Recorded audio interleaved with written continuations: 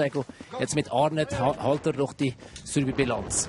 Und so eröffnet Loic Meyer diesen Weltcup-Slalom in Palisades, Tahoe. Wo vom Julien Vignier Schien und Trainer gesetzt ist worden. Sehr ein rhythmischer Lauf, der probiert, ein regelmäßiges Tempo zu haben. Ich probiere immer zu schauen, dass er leicht wie ein Feder bleibt. Hier geht er eher schneller, geht in der Traverso und jetzt geht es wieder in offene Tor. Er hat nur eine Dreiervertikale, die heisst Flash in Amerika. Ich bin noch gespannt, dass das Flash heisst.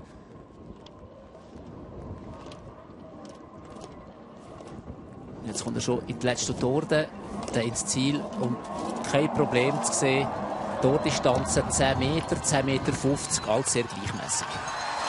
52, 40 die erste gemessene Zeit. Leukmer, ja, was sie wert ist, werden war auch zweimal Juniorenweltmeister. Mittlerweile kann ich Ihnen den Namen nachliefern. Corrado Barbera, Italiener, hat sich den Juniorenweltmeistertitel geholt in St. Anton, wird beim Weltcup-Final mit dabei sein. Jetzt aber der Vergleich Christoffersen gegen Meyer.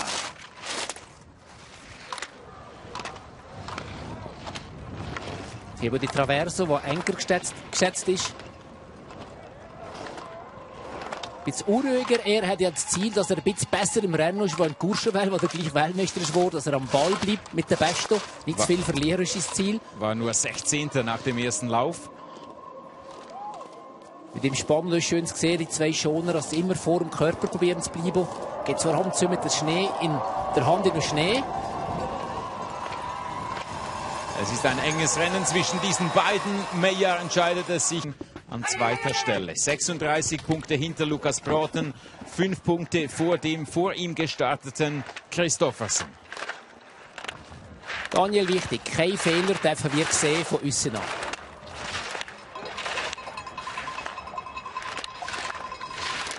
Ja, dass er nicht zu hart wird, weil der Schnee ist griffig. Ist dran an Christoffersen und Meyer. Im Unverkennbar wieder probiert Süssenbein früh darzustellen, dass er schon direkt in die Taillierung kommt. Weiter gleich schnell unterwegs wie der führende Meyer. Wir sehen jetzt gleich wie in Courchevel, wenn halt eine einfache Kurssetzung ist, auf einfachem Schnee sind die Boys so nah beieinander. Der zeitliche Abstand im Ziel, ja, da hat er im letzten Abschnitt noch drei Zehntel herausgeholt. Ja, oder Manuel Feller im WM-Slalom, führender nach dem ersten Lauf. Genau, er wird jetzt ein Kandidat, wahrscheinlich auch nicht kann zügeln, da. ja, der mal das beobachten, der Schlag, was da in dem Tor ist. Feller gestern im Riesenslalom ausgeschieden. Im WM-Slalom einfach zurückgefallen, auf Rang 7 als Führender nach Halbzeit.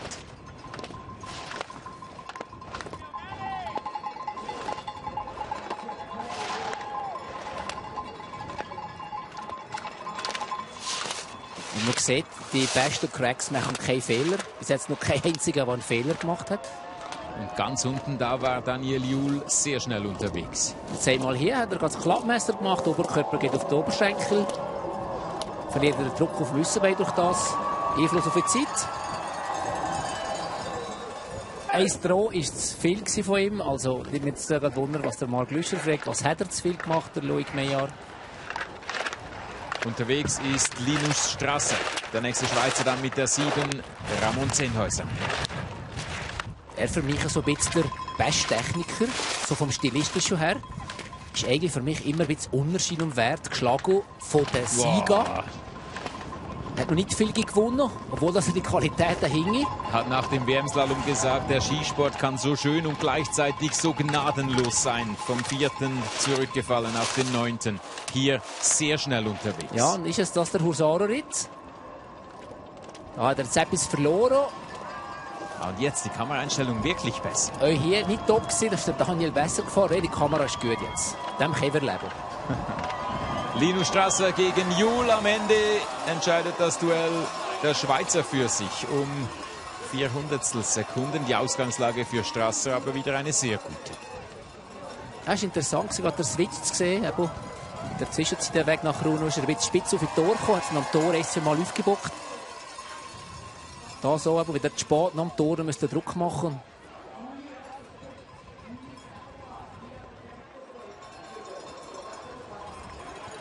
Aber hast du große Fehler gesehen? Nein. Nein, einfache Obwohl wir einen großen Bildschirm haben hier in Zürich. Ja. Aber das ist die von dir angesprochene einfache Kurssetzung. Die bulgarische Kurssetzung im zweiten Lauf, erwartest du die schwieriger? Man sieht, äh, was die FIS imEu ein bisschen für reglementarische sagt, du musst in der Spur bleiben. Das ist halt das auch. Sehen wir im zweiten. Der Mann mit der roten Startnummer, der Führende in der Disziplinenwertung Slalom, ist unterwegs. Lukas Broten.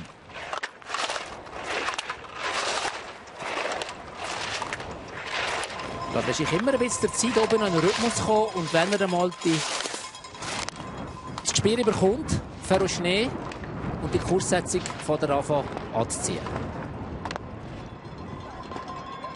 Also für ihn zählt vor allem der direkte Vergleich mit Christoffersen und Jul. Jul momentan in Führung, Christoffersen auf Rang 4.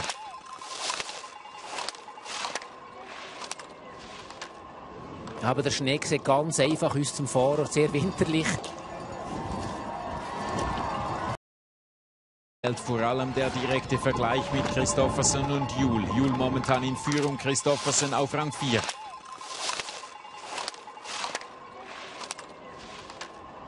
Aber der Schnee sieht ganz einfach aus zum Fahrer, sehr winterlich.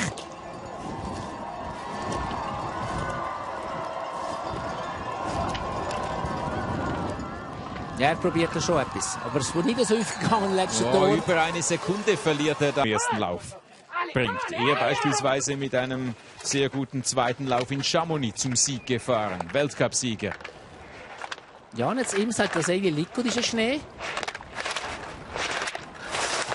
Wird die Aggressivität kein Problem sein. Das hat er jetzt ja schon ein paar Mal gemacht. Oben einmal losfahren.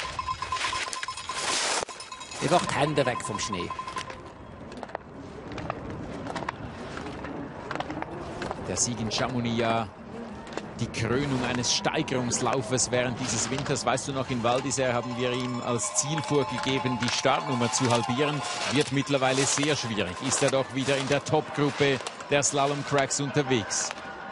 Schön von hinten noch kommen, von hinten noch bleiben und nicht direkt abstechen. Weil gesehen, Strasser wird sofort mit einem Roto aufleuchten bestraft. Zehn Häusern im Ziel als Sechster. Die Übergänge, die gestern für eine Differenz gesorgt haben beim Riesenslalom, die sind eben weiter oben an diesem Hügel oder an diesem Berg, sind ja doch 2300 Höhenmeter. Der Start des Riesenslaloms. Unten das Ziel auf 1900 Metern über Meer. Ja, mit ihm habe ich jetzt das Gefühl, nach der WM ist der Regen wie befreit. Gestern im Riesenslalom schon wirklich gut gefahren. Mit einem sehr guten ersten Lauf, zweiter. Er ging nach Hause, wobei er die WM ja zu Hause bestritten hat, mit Medaillen und mit Erinnerungen fürs Leben. So die Aussage von Alexis Pinturo. Im Slalom läuft es ihm in dieser Saison ja noch überhaupt nicht. Außer der Kombinationsslalom, wo Ja. der wirklich souverän gefahren ist. Der hat dazu Gold geführt in Courchevel. Wo führt dieser erste Lauf hin bei Alexis Pinturo auch da vorne rein in diese halbe Sekunde. Und die Leute bis heute Abend um Viertel vor. Wann ist der zweite Lauf? Viertel vor elf. Ja, wachhalten. Jetzt er Alex einer, wo- Finazza. Er ist jetzt einer, der Dani Jul wird angreifen Weil der kann gar nicht anders, das ist in seinem Naturell drin. Gestern schon mit einem guten Auftritt seine ersten Riesenslalom-Punkte im Weltcup geholt auf diesem Schnee hier.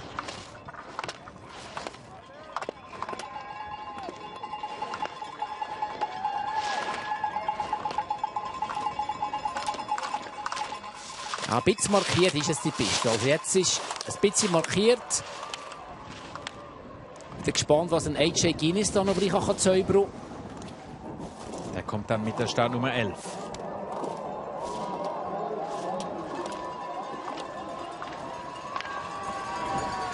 Finazza verliert etwas mehr Zeit.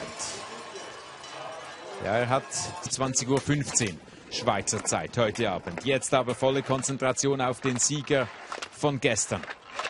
Fährt das sehr rund an oben an.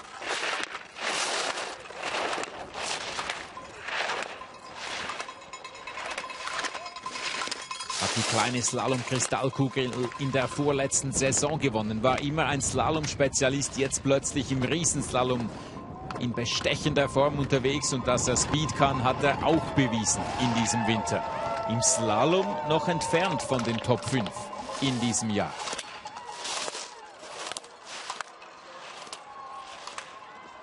Er hat natürlich super die Arbeit aus den wird, das Geschmeidige, das er hat. Was er genau den als Super-G-Abfahrer sehr stark wird machen.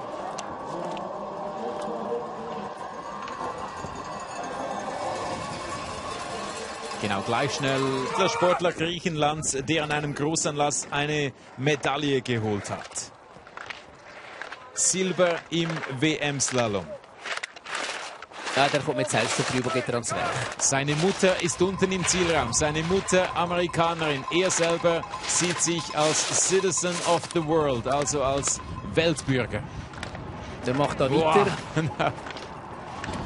Und was er amerikanisch in sich trägt, so sagt er selber, er könne ohne Hirn fahren. Also heißt voll attackieren, ohne viel nachzudenken. Macht er hier und heute in diesem ersten Lauf. Ja, und wäre ja nur Theorie. Ich sage, als Greich hast du natürlich sicher weniger den sozialen Druck von deinem Land, wo eben ein Schweizer, ein Österreicher, Franzose oder Italiener. An einer Weltmeisterschaft. Hier übernimmt er, nein, übernimmt nicht die Führung, aber fährt wieder auf einen Pot. Tristan Glass und ist oben am Start, ist sehr ein erfahrener Mann natürlich. Hat den Schuh von Dave Riding präpariert. Zuerst kommen, bekommen wir noch Christopher Jakobsen zu sehen sieht das uns, wie die Zunge ah. jetzt da durchscheint und das Lichtverhältnis noch besser werden.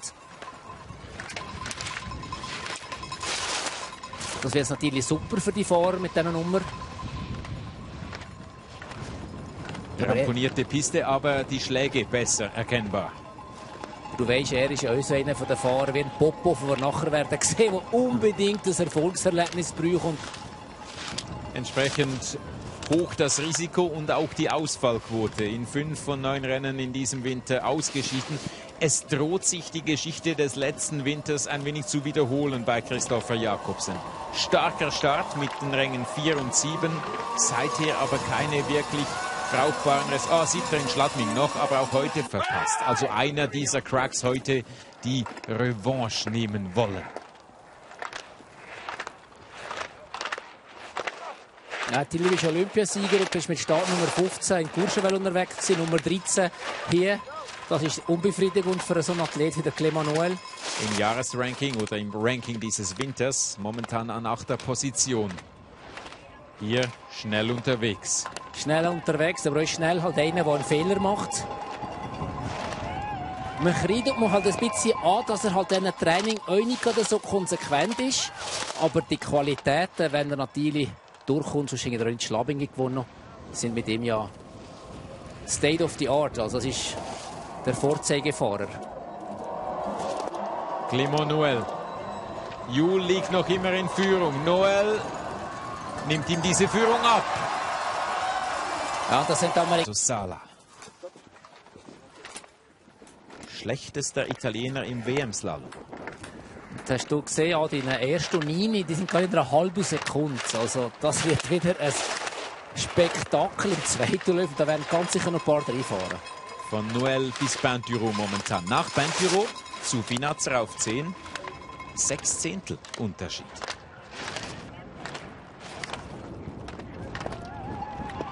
Ja, der läuft, der braucht halt jetzt genau die Aggressivität, die wir ja mit den Schweizer ein bisschen vermisst haben, schon in Courchevel was jetzt nicht korrigieren aber ein Sala ist da noch ein bisschen drin mit seinem schönen Fahrer. Es wird interessant sein, Riding, der ja auch so ein schöner Fahrer ist, technisch. Der kommt dann als nächster, der ob, Brite. Ob der es schafft, da die Nervlichkeiten hochzuhalten. Salah fährt aber auch in diese halbe Sekunde. Nachteilig. Weniger Herz, Polo für die Trainer am Pistorand. Dave Riding Zweiter in Kitzbühel.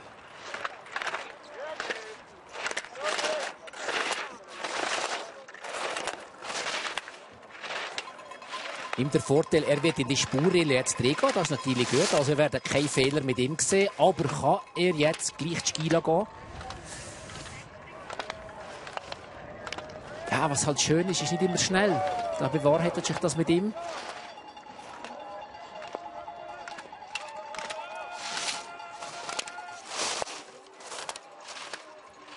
Platz hat es zwischen Pinturo und dem Weinatzer.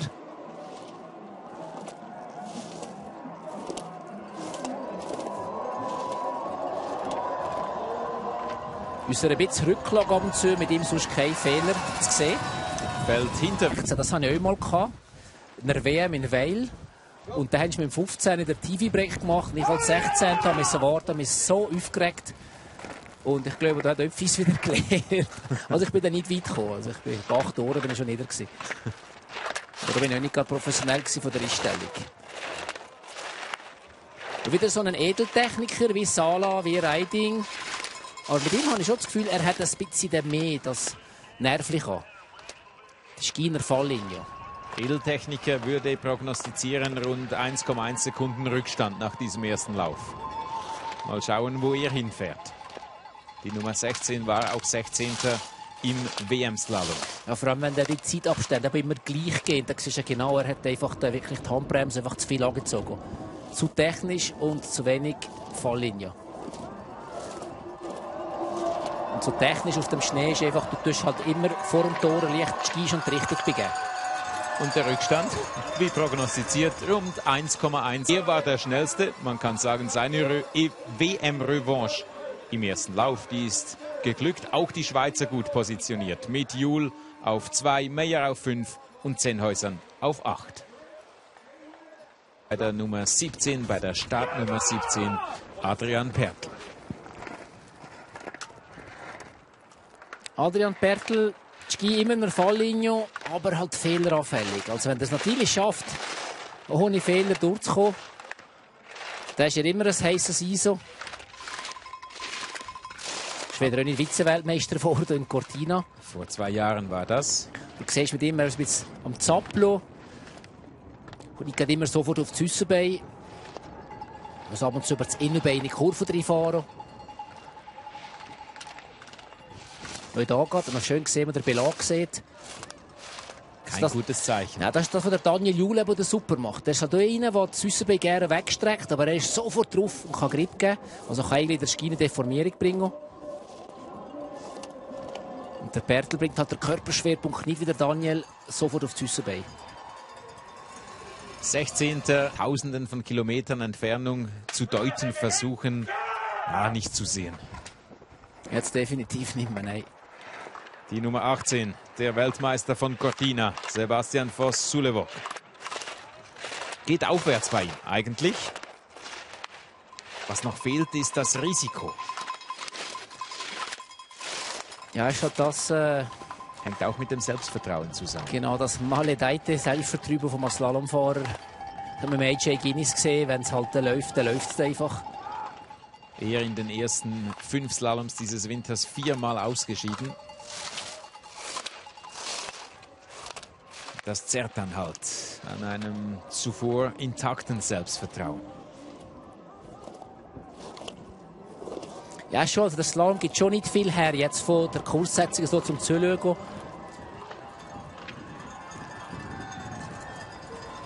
Er fährt da erstmals in diese ziemlich große Lücke zwischen Reisepass ausgestattet. Bei den einen, wie bei Sam Mess oder unser Mann vor Ort, fehlt das Gepäck. Bei ihm fehlen die Wertsachen. Aber so hat man es aber schon gerne. Und so leicht überscheinend ist. Siehst, also man jetzt sieht wieder bessere Sicht. Wie das kann wechseln von einem Fahrer, vorher vom Voss Solwag zum Timon Haugen. Und man sieht ja von der Seite her, bumm, ist er da. Ja. Er auf dem gleichen Material wie Henrik Christoffersen, sein Vorbild unterwegs. Ja, er probiert die Base hochzuhalten. Er probiert Risiko zu nehmen. Christoffersen liegt momentan auf Rang 6. Sein Rückstand auf Glimonuel 24 Hundertstel Sekunden. Jetzt hat der Körperschwerpunkt leicht hinten noch verlagert auf die Fersen. Das keine Kontrolle über die Spitze. Haugan ja, fährt vor sein Vorbild, fährt dass so einer will fahren. Da kann man ein paar Fehler machen und alles als Lehrmaterial abspeichern. Wie beispielsweise auch der WM-Slalom, in dem er nur in Anführungs- und Schlusszeichen auf Rang 22 gefahren ist. Er hat die in der Öine, haben wir in Schladming gesehen im Riesenslalom, wo halt so einen Wunderlauf auspacken. Da war er zweitschnellster im zweiten Lauf, bis auf Rang 4 nahe an sein erstes Weltcup-Podest vorgestoßen. Alexander Steen Olsen hier auf Rang 12, auch er verliert weniger als eine Sekunde. Neu. Albert Popov. Das Gumpiballi vom Dienst. Mal in den zweiten Lauf wiederkommen, oder? Ja, ist einfach Gero einfädeln tut er jetzt gerade in letzter Zeit. Wobei er in Chamonix, muss ich sagen, siebter war nach dem ersten Lauf, da im zweiten Lauf ausgeschieden. Mit ihm jetzt eben Rechtskurve, also links Aussenbein, die die schwächere Seite ist. Also hat er jetzt eigentlich Schwein, weil hier alle Rechtskurven bergab gehen. Also das rechte Außenbein auf diesem nach rechts abfälligen Kurs wichtiger. Der zweite Lauf wird dann von seinem Trainer gesteckt. Also bitte durchkommen. Aber dass sie den abnormalen Cut geben wenn sich die Piste so positiv behalten und vor allem wenn Licht aber die Sicht noch besser wird. Mit dem Cut meinst du die Zeit, also der zeitliche Rückstand, der dann eben noch reicht für den zweiten Lauf. Popov verliert 1,46 und damit viel Zeit. Nahe dran sei er gewesen und doch so weit entfernt von einer Medaille als 14. Die Glück. Sicht besser. Sicht super, alles angerichtet. Er hat Fähigkeiten. Ausnützen. Zweimal schon in den Top 10 in dieser Saison. Start geglückt. Spitze wild unterwegs, das werden Timon Haugen auch gesehen. Der war Jawohl. auch schnell. Und Rocha ist auch schnell. Haugan ist auf Platz 4 gefahren. Oh. Gleich Ort der Fehler ah, wieder das Haugan. Das darf doch nicht Gott. wahr sein. Der erste Fehler, beziehungsweise der erste Ausfall der erste Fehler, der zu einem Ausfall geführt hat, um das richtig auszudeutschen, betrifft einen Schweizer. Rocha hat riskiert und verloren. Ja, genau gleiche Tor wie der Haugen Neus das Problem hat vorher, bekommt er den Stock zwischen den Beinen. Alles richtig gemacht, aber halt wieder da. Risiko dosieren.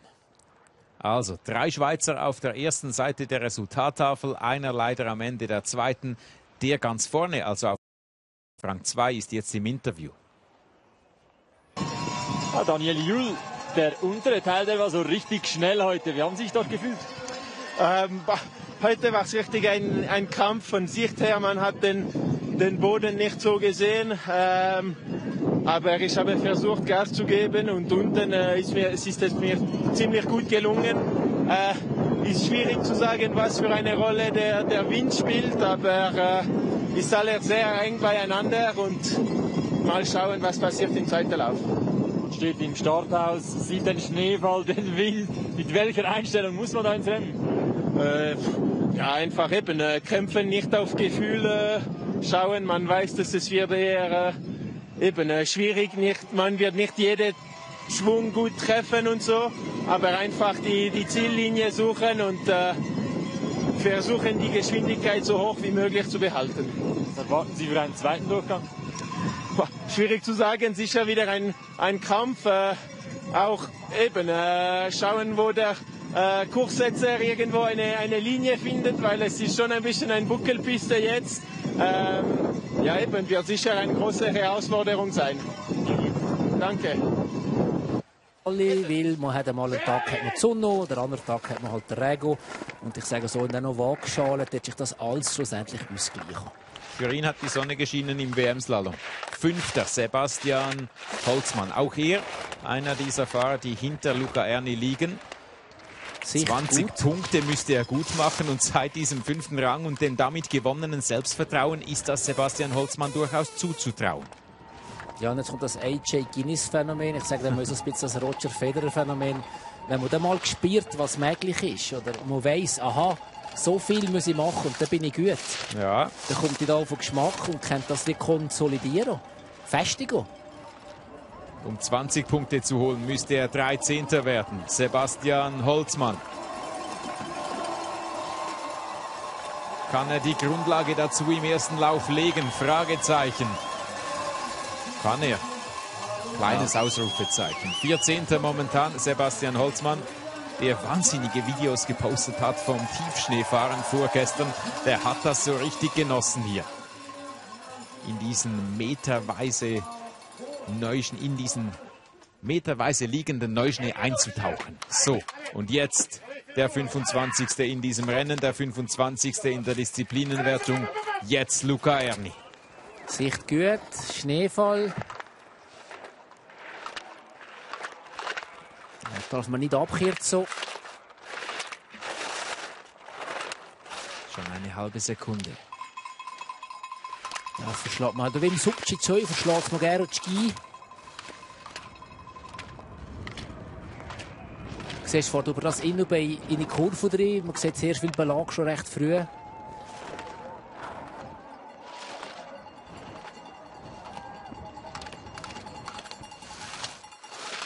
Das ist auch bei der dritten Zwischenzeit nur der 24. Zwischenrang. Da muss eine Steigerung im untersten Streckenabschnitt her bei Luca Erni. Will er nicht vom Schleudersitz ja, geschleudert werden? Ja, von dort her nicht vom Becken ist sehr tief da mit der Position. Also es ist äh, recht, Letzter recht enttäuschend. jetzt. im Zwischenklassement und